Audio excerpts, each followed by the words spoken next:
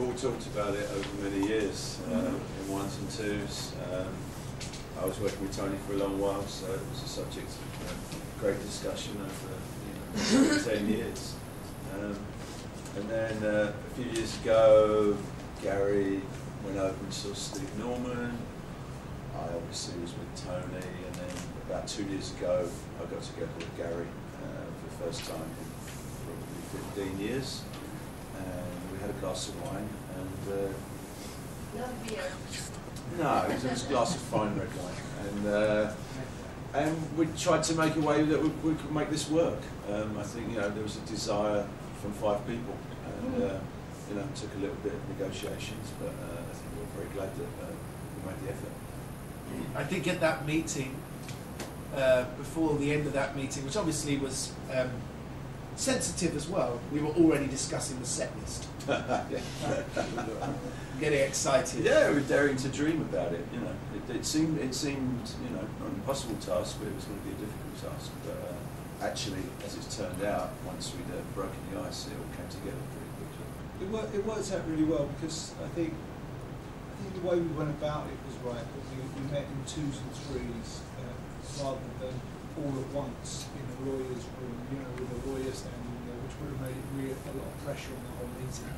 We met in twos and threes as friends, which was the right way to do. Yeah, I mean, yeah, we, we discovered, rediscovered that friendship, sorted the business out, and uh, I think the first time it really became solid, first time it became tangible was when we actually got into a rehearsal studio and started playing music together.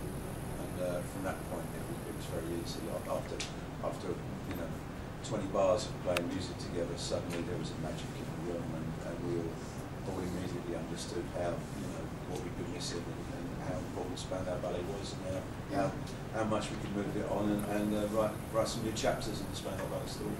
There's also there was that that day in the rehearsal studio. There was a, a kind of a spirit that we evoked in the music, and that became like another character in the room, another person, and and I think all of us felt a sense of responsibility to our to that to that spirit, and and to our legacy as well, you know, um, and that we had to make we had to make this work because you know we'd all played music with different people in different places over the last 20 years, but we'd never been in a room and made that sound for all those years, and it was just. Uh, I think, I think the first song that we put together, we put our guitars on, and the first song we started playing was Our Fight for You, which uh, was just magical. that was that was when it became very easy. Uh, you know, as say there was some delicate negotiations before to sort the business out, um, but as soon as we started playing, it, it, it was it just felt right. yeah, 20 years didn't exist. Yeah. But some, some years ago, I had an interview with uh, Christian Canals. And he said about this reunion, a reunion, no nostalgia at all. So I'd like to know what for you, what's your idea, no nostalgia, and what's your plan for the future? It's all about the future. It's about Ballet in 2009. Um, you know, nostalgia is, is looking back. We're, we're trying to look forward. In every way, you know, the, the band is, is better than we were 20 years ago. We're all better players, we're all better people. So, you know, we've all grown in many ways. So, and and I think that was important about making the, the new album. It actually got the band back into a studio and, uh, you know, put us on a, a better footing. You know, the, the first plan was to go and do some concerts. You know, it's pretty much one year ago, pretty much now, where Spandau Ballet, the five of us, were in a room together for the first time. So in that year, we've uh, covered a lot of ground. You know, yeah, we were going to go and do some shows, and then we got offered a fantastic deal by Universal, and uh, I think we're all, you know, couldn't see how we were going to fit making a record in to this year, but um, they Universal wanted us to uh, reappraise some of the old songs, and, uh, that, that was perfect for us. And, that, and out of that, also we have two new tunes. So uh, I think most of our songs uh, are timeless. You know, they, they don't only exist in context of an era. You know, they they work now just as well, and uh, so there there isn't a sense of nostalgia when we play it. You know, I think the songs are more powerful than that. They they they're like they're like Peter Pan, a great song. You know, it it, it, it, it doesn't grow old, you know. So um, there's that to the music. Also, just to say that with the new album, that is a separate project. That is um, Spandau Ballet in a very intimate setting, apart from the new songs. Uh, that's a very intimate look at, at these songs. Um, live on stage when we come here to do the shows.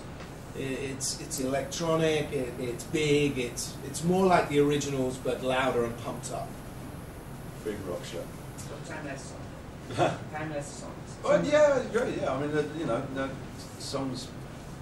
I think over the twenty years, uh, those songs have entered into the public consciousness. They're, they're part of the part of the culture, and uh, no matter what age you are. I mean, I, my daughter's at university now in, in Manchester, and you know that gold gets played at the end of you know 18, 19 year old clubs. So uh, it really has crossed a lot of generations. And so there's the people who saw us before back in the day, and now we have a whole new audience as well. We saw, uh, we did a TV show in Germany last week, Wetten dass, with, um, with Black Eyed Peas, and Fergie and will.i.am were talking to us because they did a cover of True two years ago, and they said they, they did it for a movie soundtrack, but they were he was upset that he couldn't put it on uh, their album because they just missed the slot. So Fergie used it on her. Uh, there's a, another track on the uh, on her single. It's a nice cover.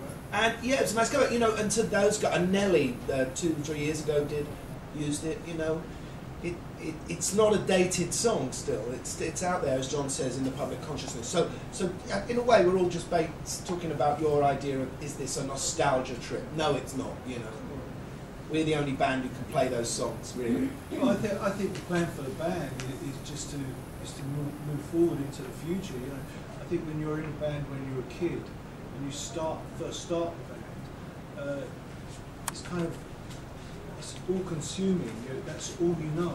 Is to be in a band. That's your life. But uh, I think over the last 20 years we have so much more life experience to bring into the band for the first time. Uh, and uh, I think that's the exciting thing about uh, starting again. We never thought we'd be doing this tour with a, new record, with, with a new, with a song, you know, a, a brand new song that we're playing on TV now, and that that really has been a great thrill for us because it's it's broken the ice as far as Spandau Ballet making music in the future. We know we can do it now. You know, the most nerve-wracking thing is to sit in a studio and show someone a song, you know, and uh, and begin a new song. And we knew we had the responsibility of of, of Spandau Ballet's history that this new song had to be worthy of all those other ones, you know. And when we started building that in the rehearsal studio and in the recording studio, you know, I think we were all a bit nervous, but it, it didn't take long before we felt, you know, this could be another Spandau classic. Yeah. And it, it was good, you know, in the time pressures of making the record. Say we really had to fit it into six weeks in the summer, which you know was it's a short amount of time to make an album.